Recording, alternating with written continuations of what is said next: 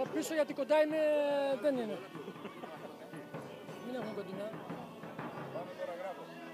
Κότς, πολύ σημαντική νίκη σήμερα απέναντι στη Στυλίδα όσον αφορά για την κατάληψη της πρώτης θέσης. Έχει Νομ- πολύ σημαντικό βήμα σήμερα. Νομίζω ότι όντως έτσι ήταν, γι' αυτό η ομάδα ε, έπαιξε με αρκετό άγχος, αρκετή πίεση.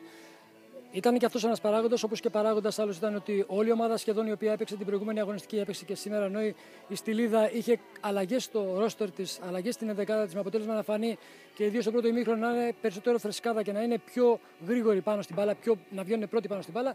Παρ' όλα αυτά πιστεύω ότι μετά το 60 έδειξαν ψυχή τα παιδιά, έδειξαν ε, ε, διάθεση και κατάφεραν και άντεξαν ε, μέχρι το τέλος και πήραμε μια σημαντική νίκη γιατί όντως την κάναμε επί μιας ομάδας η οποία ε, είναι εξαιρετική.